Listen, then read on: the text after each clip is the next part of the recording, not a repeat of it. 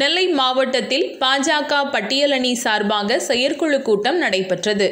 பட்டியல் அணி கூட்டம் வைரமுத்து தலைமையில் நடைபெற்றது. இந்நிகழ்ச்சியில் மாநில செயலாளர் சிவந்தி நாராயணன் திருநெல்வேலி மாவட்ட பாஜக தலைவர் மகாராஜன் மாநில தொழில் பிரிவு செயலாளர் சுபாஷ் மாவட்ட பொதுச் செயலாளர் தமிழ்செல்வன் கணேஷ் கணேசமூர்த்தி மாவட்ட செயலாளர் முத்து பலவேசம் ஆகியோர் சிறப்பு அழைப்பாளராக கலந்து கொண்டனர்.